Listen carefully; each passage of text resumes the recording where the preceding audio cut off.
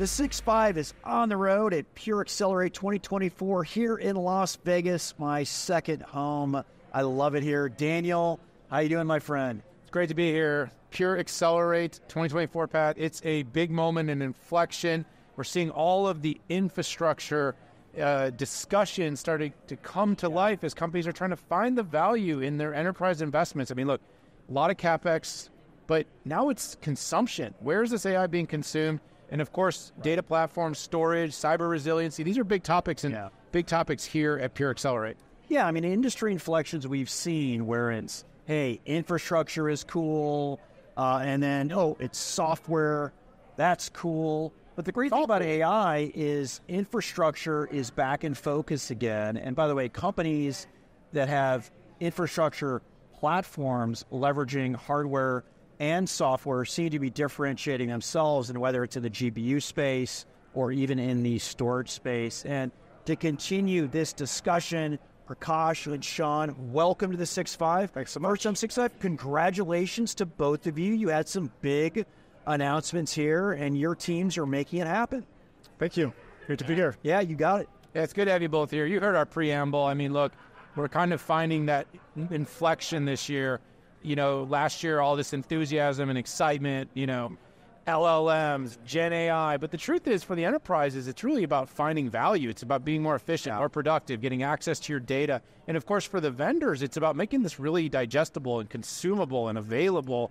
And that seems to be what you all did here. So, Shawn, I'm going to start off with you and talking about Pure Fusion. This is a big moment. Yeah. Um, this is one of the items I think can solve a lot of the challenges for companies trying to get more out of their data. Talk a little bit about Pure Fusion, the announcement, sure. and why it's uh, going to solve some big problems. Great. When we first introduced Pure Fusion, we were so excited about creating this unified global pool of storage, but we realized after about a year in market that we had several things that kind of held it back. Number one was customers wanted it to work for all of their existing data. Right. It wasn't enough just for new pools of storage or new things being deployed. Customers asked, what about everything I have right now? And so the big announcement we made today is that Pure Storage with a simple software update will work backwards compatible with everything that you have. So really it's an announcement about being prime time. Right. That it's available as a simple non-disruptive update for all of your environments. And now you can create a single control plane for all of your appliances. Yeah, we had a great conversation with Charlie. He really hammered on the accessibility part, right? Accessibility to all, of course, accessibility for AI and, and folks like that. So another huge trend here, and it's funny, we always think that cybersecurity is something new, okay?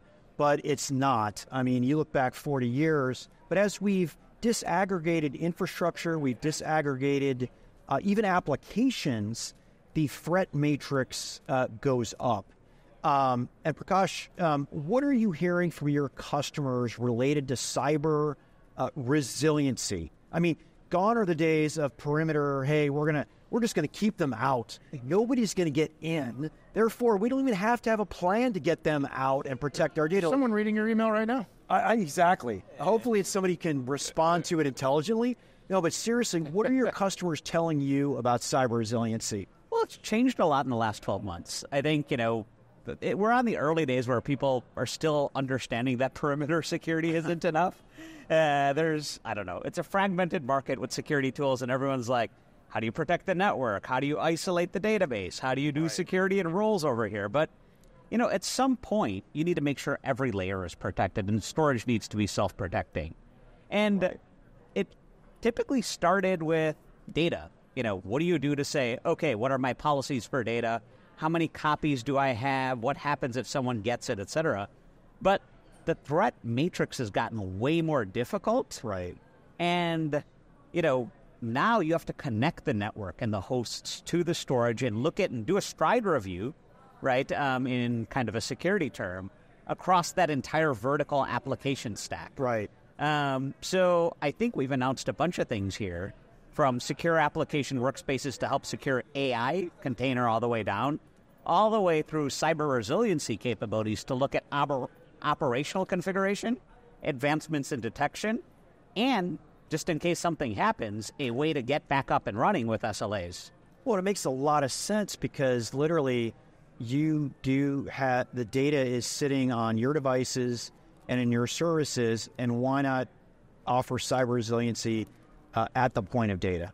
That's basically Yeah, I mean, it, it seems like a really substantial opportunity. And I think what you were alluding to, Prakash, is that with the advent of this AI movement, right, the vulnerabilities are exponential. It's not a little bit more, it's substantial in every different area. And of course, these technologies also enable the black hats and the bad actors to be more sophisticated. You know, every great invention we have tends to get skewed into being used in two ways.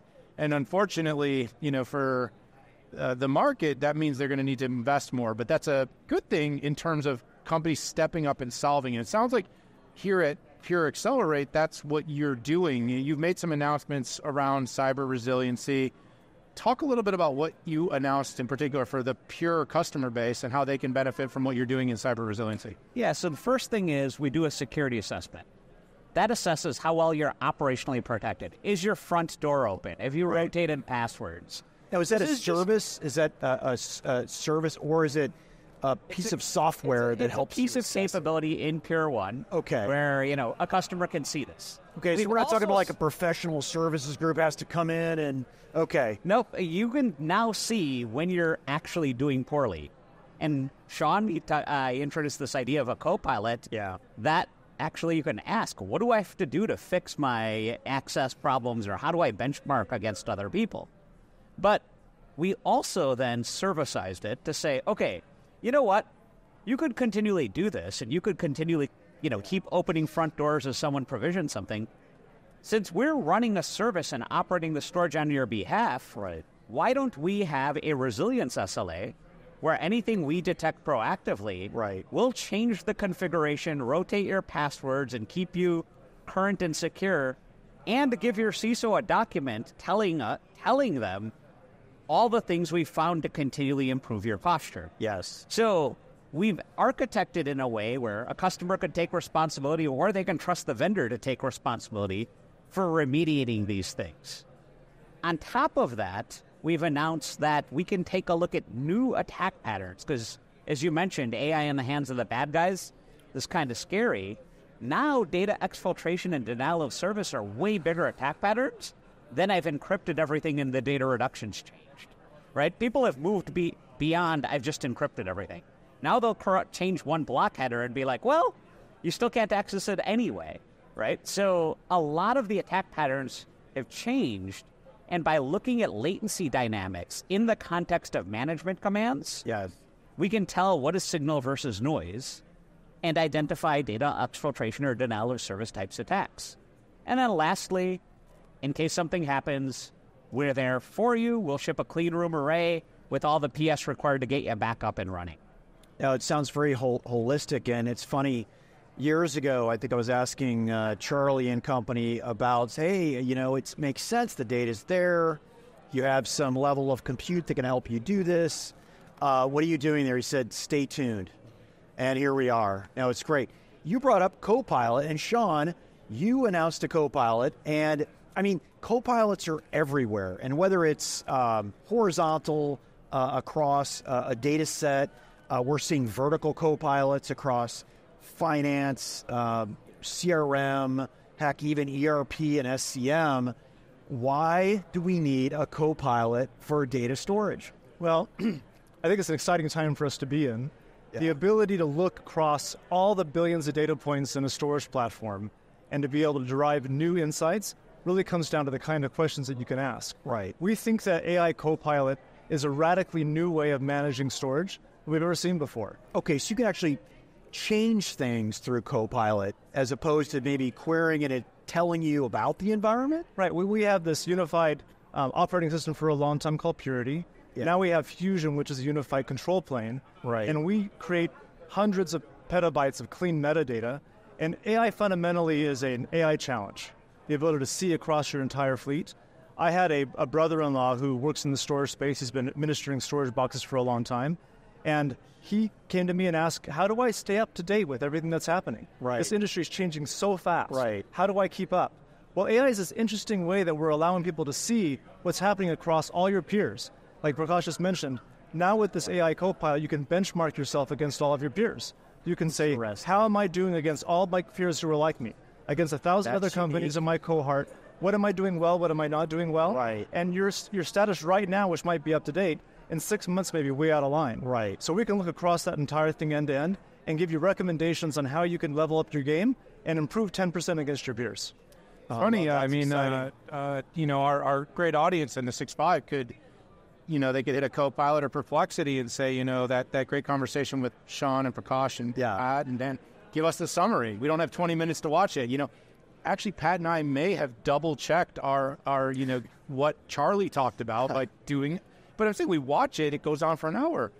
But this is the way we keep up with the world. When information gets created fast, you got to build solutions that enable customers to access and use all the technology you're building more more readily. Well, and I love the addition, and I, you know, as analysts, we, we like to pretend like we, we learn it the first time we get the, the briefing, but uh, comparing against your peers, it adds a ton of value, right? And obviously, it's private; you don't know who others are, but it's almost a an internal benchmarking, and it could have been just a, you know, a dashboard of something with with a bunch of charts, and heck, you could probably make your Copilot do that the next version, but it's another thing to be able to ask it what to do, where do I rank on this, to be able to query a system. And I have to, I have to think too, it's an efficiency play for a data storage manager too, or am I being a virtual product manager here? I think so. I think it's available for every role. Like this, this kind of skin will apply to every industry in the end. Okay. But at the end, it comes down to data. I think what you're going to see in the end is that this will take a decent storage admin and make them good, and it will take a good storage admin and make them amazing. Right. It's exactly the way we see AI being implemented. It doesn't replace quality; it it, it enhances. It all It superpowers. better. It up levels. All right, we got a couple minutes left. Prakash, just want to hit you up on you know some of the SLAs you announced here at Accelerate this week. Can you talk a little bit more about those? Well, so the first thing is with Evergreen One, we found a new workload, the AI one, that didn't fit AI. the paradigm that we've seen in the past. You know, traditionally with VMware and SQL Server and, you know, traditional workloads, even unstructured workloads, more data equals more performance. You know, you like need data, you need bandwidth and latency for those applications, but they're well defined, you know, application types. Yep. Um, AI's kind of weird where I think right now everyone's like, I need to do something. I don't know what I want to do yet. I'll figure it out. And, you know, when you get down to training and infrastructure, everyone's like, I can create a reference architecture. Yeah. Right? And we're just like, come on, there's got to be a better way. So when we started taking a look at, well, GPUs are an expensive asset and training, you know, when I've even run our own uh, testing in metabolic health, I was actually doing something we can talk about later um, to learn about LLMs. I realized, hey, I can do the training on one terabyte of data. It's just generating millions of parameters that are relevant on a small data set, right? And, you know, unless you're like a Meta or an Amazon, like most of the data sets are sub 50 terabytes in training Right. and c- compute intensive. But when you get to applying the model to inference, it's a large data set, lower throughput thing.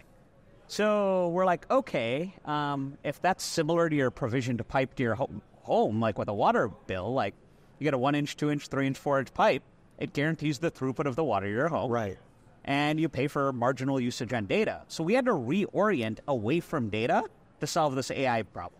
We said it's a provisioned performance for GPU is what your reserved commit is, and you pay a marginal data rate like your water bill for using water, and that concept applies in a way where you don't know what your requirements are, you don't know what your apps are, the landscape is changing very drastically.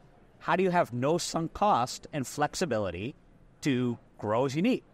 So the consumption model works well, and our SLA is now guaranteeing the throughput you need to keep your GPUs busy. Gosh, imagine paying for only what you need, and your AI needs vary. I think uh, even Charlie uh, mentioned, I think, five different use cases that, or different use cases that require different types of performance, different types of latency. And no, I love that. It's good. Well, listen, gentlemen, I want to thank you so much. I know there's a lot going on here at this week's Pure Accelerate. I'm sure you're going to be going from meeting to meeting to meeting if it's been anything like it has for us. Congratulations on the launch, all the uh, enhancements and fusion. Thanks so much. Next, uh, next big moment. Can't wait to see how that translates into numbers, and of course the cyber resiliency uh, updates. Uh, both Pat and I tend to believe this is a very big moment Yeah. for security. And while AI is going to always kind of have the lead, security, wherever it goes, is going to have to follow. Let's have you both on soon. Thanks so much for joining us here on the 6 5. Thanks right, so much. thank Thanks, guys. Thank you. All right, everybody, stay with us. We are here at Pure Accelerate. Join us for all the coverage we have. Check out the links. We've had a bunch of different episodes recently with the team at Pure. And of course, join us for all the episodes here on the 6 5. We're on the road. It's Pure Accelerate 2024. We'll see you all later.